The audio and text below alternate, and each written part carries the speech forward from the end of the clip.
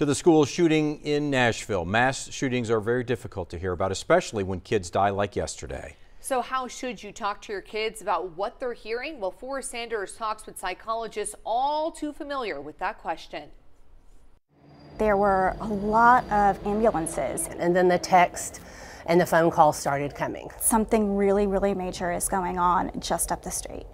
As children were reunited with their parents after the Covenant School shooting, Dr. Katie Harrington and licensed clinical social worker Lina Roberts were there to help as clinical child psychologists. Their Green Hills Family Psych is only a mile away from the Covenant School. Words do not describe kind of what that experience was like. And one of the hardest things to navigate is how do we support our young kids in this? Tomorrow, there'll be a fair amount of kids that question going to school. If there's a tangible object small kids can take or a note from a parent, something, an object they can hold on to, I think that would be very comforting and nurturing for them. Allow your children a safe place to feel without over exaggerating or minimizing what they're feeling. It is okay for your kids to see you cry. And always follow that with, we're together as a family.